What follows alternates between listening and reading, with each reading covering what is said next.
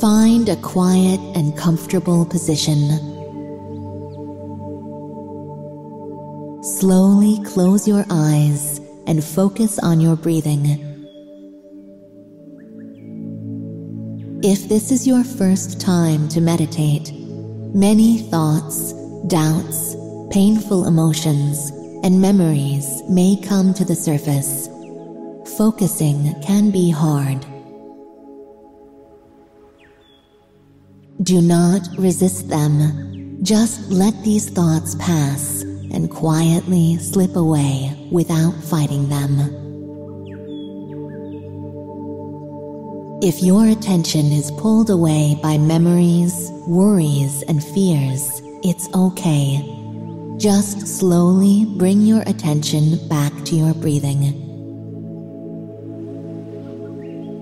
Notice your breath becoming deeper and slower. There is no need to repress or fight the pain, the anger.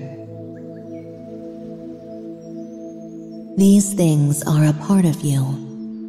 Acknowledge them, accept them. They are here to teach you, to guide you, to reveal your truth.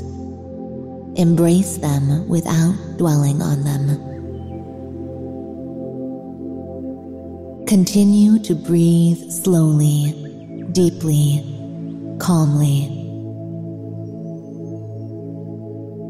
Your pain is real. Your anger is valid. And your fears